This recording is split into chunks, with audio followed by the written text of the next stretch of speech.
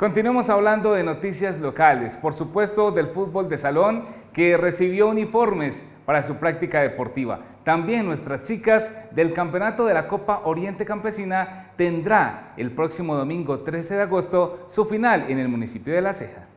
Gracias a la sumatoria de esfuerzos entre los padres de familia, la empresa privada y la institucionalidad, el proceso de fútbol base y fútbol de salón de Sonsón recibió uniformes para la práctica deportiva.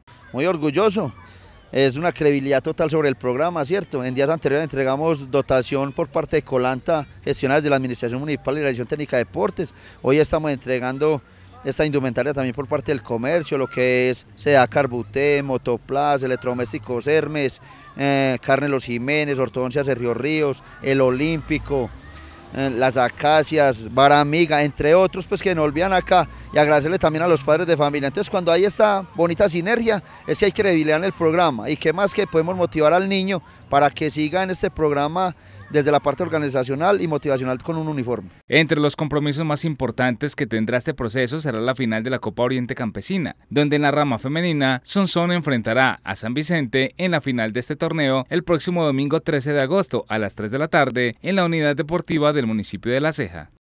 No, pues la preparación con las niñas se viene trabajando constantemente, los objetivos y los resultados cada vez son mejores. Sabemos que en la primera versión las niñas también obtuvieron un gran puesto, en esta segunda versión tuvimos la oportunidad de llegar a la gran final, se llevará el 13 de agosto contra el municipio de San Vicente en el municipio de La Ceja invitarlos a toda la comunidad para que nos acompañen, ya que también ellos hacen parte de esta gran familia deportiva.